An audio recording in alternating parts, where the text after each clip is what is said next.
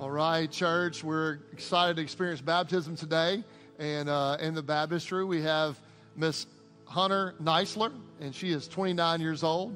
And I'm going to ask friends and family of hers to stand right now in honor of her baptism. Awesome crew. So great. Thank y'all. Y'all can be seated. Thank y'all for being a part. Um, so, Hunter's got a neat story. Um, she has heard the gospel and uh, been in church. Um, but um, about a month ago, she just sensed that something was not right. And uh, during the invitation on a Sunday morning, uh, she came forward and uh, she actually talked with uh, Pastor Brad and just shared um, her need and her heart and her desire to be a follower of Christ and to nail that down.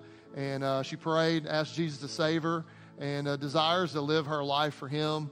And uh, if you are excited about that, would you just say amen right now for her? And be praying for her that God would use her to do awesome things. We just prayed for her back there. So, Hunter, upon your profession of faith and obedience to the command of our Lord and Savior Jesus Christ, I baptize you, my sister, and in the Father, the Son, the Holy Spirit. The Christ by baptism, raised to walk in newness of life.